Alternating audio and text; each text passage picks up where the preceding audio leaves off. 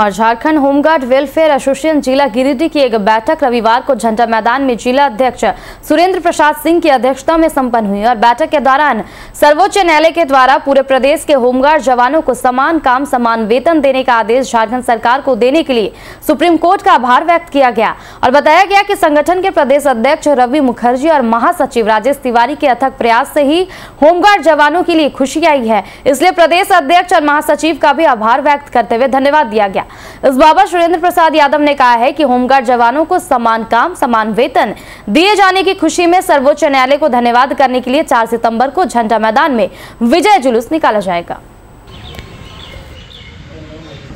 Home guard एकता जिंदाबाद। Jharkhand home guard welfare association Giridih हार्दिक बधाई करता है सब जवानों का। राजीव तिवारी एवं रवि मुखर्जी ने बड़ी लंबी लड़ाई लड़ करके सुप्रीम कोर्ट से हम लोग को समान काम, समान वेतन का जो लागू किए, हम लोग चार नौ 2024 को एक विजय जुलूस निकालेंगे, जो झंडा मैदान हो करके कैंप में वहीं स्वतः हम लोग स्थगित करेंगे, एवं इस कार्यक्रम में रवि मुखर्जी एवं राजीव तिवारी को भी हम लोग आग्रह करेंगे कि वो लोग भी आकर के हम लोग का समर्थन में यहाँ पे दिखावें, और समान काम, समान वेतन में जितना भी लागू होता है, आज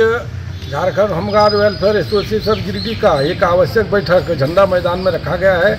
बैठक का प्रमुख उद्देश्य है कि सुप्रीम कोर्ट के आदेशानुसार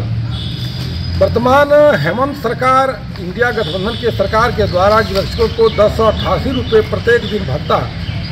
एक पुलिस के समकक्ष न्यूनतम वेतन देने के उपलक्ष्य में हम लोगों ने खुशी ज़ाहिर किया